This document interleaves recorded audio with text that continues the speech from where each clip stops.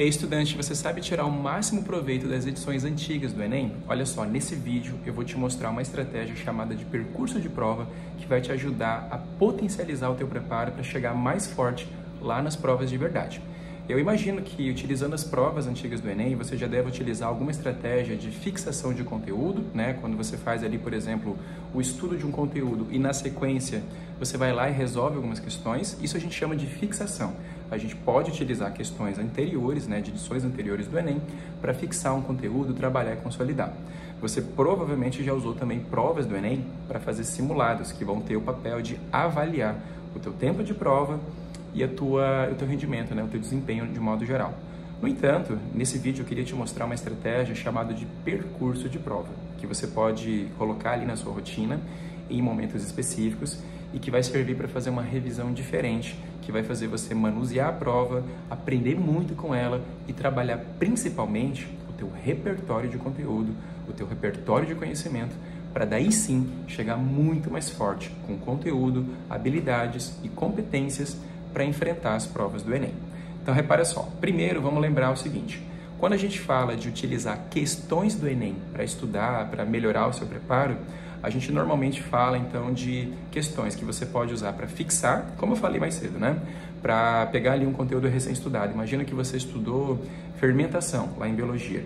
Aí depois de ter estudado esse conteúdo e adquirido ali alguma teoria, é interessante você pegar questões de outras bancas e questões do Enem sobre fermentação para especificamente ver como esse conteúdo aparece na prova e aí trabalhar esse conteúdo de modo a fixar e melhorar a aprendizagem dele, direcionado, claro, né, para a realidade da prova do Enem.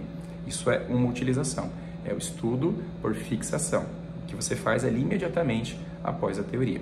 Você também pode utilizar questões de Enem, é, por exemplo, na própria prova ou em bancos de questões que tem por aí, para fazer revisões específicas, certo? Se você tem ali, por exemplo, o hábito de fazer revisões de final de semana, ou quando você tem na tua rotina é, um momento específico para revisar conteúdos específicos, você pode buscar essas questões das edições antigas do Enem para fazer uma fixação específica. Então, se você quiser, por exemplo, falar assim, ah, eu vou fazer uma revisão de biologia, e dentro de biologia eu quero revisar ecologia, você pode buscar questões de ecologia que já caíram nas edições anteriores do Enem e daí fazer uma revisão específica. Isso também é um modelo de revisão.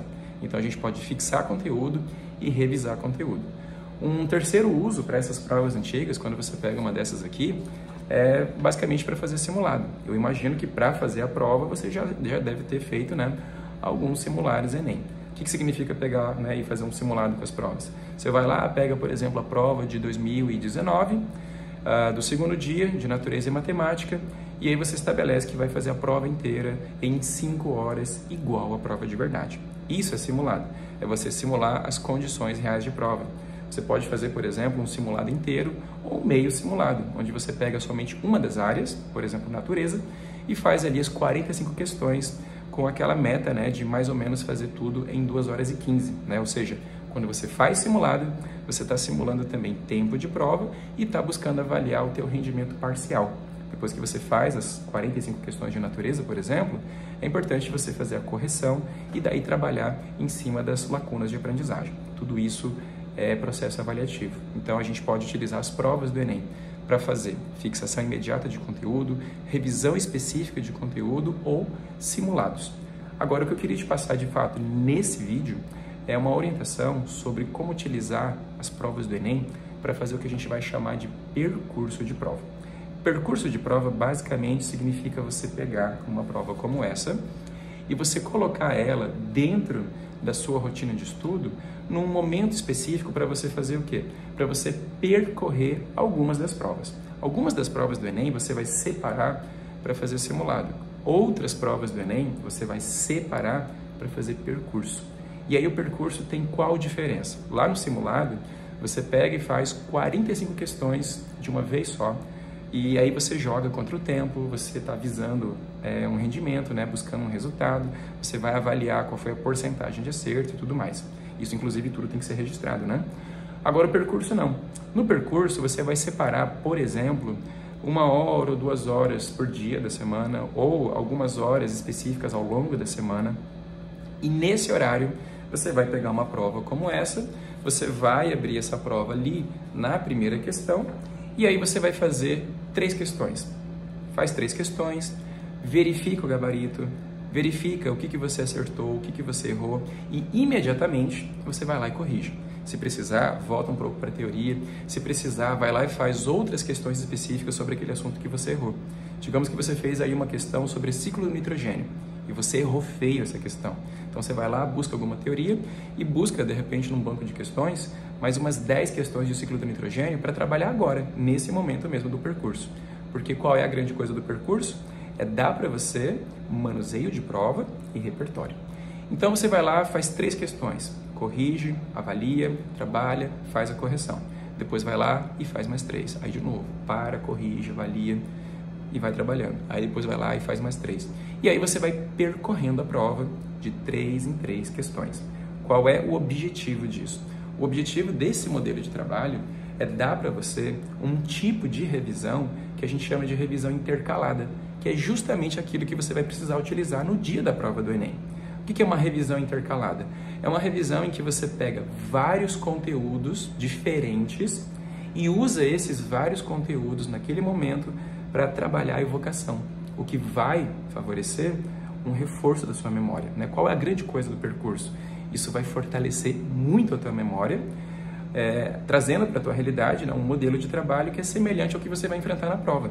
Quando você abrir tua prova, lá no dia de verdade do Enem, você não vai é, necessariamente ter as questões organizadas, né, por área, tema e assunto. Você vai ver uma questão de uma, de uma disciplina, depois de outra, depois de outra, de conteúdos diversos.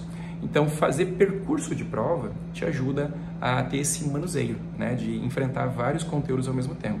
E aí, a grande coisa do percurso é, você gasta ali, de repente, uma hora por dia. E durante essa uma hora, digamos que você conseguiu fazer 12 questões. Foi mais, não, não passou disso. De repente, você faz o quê? Para ali naquela, naquela questão número 12 e amanhã, quando você fizer mais uma hora de percurso, você continua da questão 13 em diante. E aí digamos que você chegou lá na questão 32. Quando você parar ali, no outro dia, quando você continuar no teu percurso, você vai lá e faz da 33 em diante, até percorrer toda aquela área da prova. Então digamos que você fez isso com ciências da natureza. E aí você levou uns, sei lá, três dias para terminar as 45 questões. Quando terminou essas 45, você vai lá e pula agora para humanas, para linguagens, para matemática, ou continua em natureza. De repente você precisa é, melhorar muito em natureza. Então você pode fazer percurso de natureza por um certo tempo aí até sentir que melhorou teu rendimento. Mas agora de novo, qual é a grande coisa disso? Por que que você faria percurso? Qual a diferença de fazer percurso de prova e fazer simulado? Por que, que eu não faria logo um simulado? Porque o simulado ele tem uma outra abordagem. Primeiro, que ele é mais cansativo, ele é mais pesado e ele exige ali, às vezes, muito mais tempo, né? Para você fazer um simulado de 45 questões, você vai gastar pelo menos 2 horas e 15, fora o tempo de correção. Se você vai fazer um simulado inteiro, você vai gastar ali por alto, né? 4 horas e meia, 5 horas, fora o tempo de correção. E você talvez não tenha todo esse tempo todo dia. E aí o que, que acontece? Ao invés de fazer é, esses simulados, onde você não tem tanto tempo assim, durante aqueles horários que você tem mais quebradinho né, ali pela semana, você pode só fazer percurso. E aí no percurso, o que, que você está fazendo? Você está vendo essas questões na sequência da prova, de forma intercalada. Isso está fazendo uma revisão de muita amplitude, né? Porque no fim das contas você vai ver questão de tudo que é coisa, daquilo que você estudou lá em fevereiro, daquilo que você estudou lá em março, daquilo que você estudou ontem. Então a prova ela vai te dar, né, é, com a aleatoriedade das questões, esse momento de revisão de amplitude. E isso vai forçar você a ter esse manuseio, esse traquejo de uma hora olhar para biologia, uma hora olhar para física, depois voltar para biologia, depois olhar para um conteúdo e depois outro e assim vai. Isso vai te dar um manuseio muito bom de prova. E o fato de você fazer de três em três questões permite que você faça uma aquisição parcial de conhecimento que você pode usar na próxima questão e na próxima e na próxima. Então, o que é o percurso de prova? É um tempo que você reserva durante os dias ou ao longo da semana. Você vai ter que ver, né, de acordo com a tua realidade. E durante esse período aí de tempo que você reservou para fazer percurso, você vai pegar a prova de verdade e vai fazer as questões dessa prova com, esse, com essa intenção, né? De fazer uma revisão intercalada que vai te dar manuseio e melhorar o teu repertório de prova. Você pode fazer isso, por exemplo, com humanas e linguagens para trabalhar principalmente a parte de habilidades e competências. Né? Eu tenho muitos estudantes que fazem só percurso para linguagem. Por quê? Porque eles não veem muito sentido em selecionar na área de linguagens é, questões por área, tema ou assunto. Fazer isso em natureza é muito fácil, por exemplo. Você pode ir lá pegar uma questão, você olha para a questão e você vê, tá, isso aqui é uma questão de biologia. Essa questão de biologia claramente é de ecologia. Essa questão de ecologia claramente é de ciclo do nitrogênio.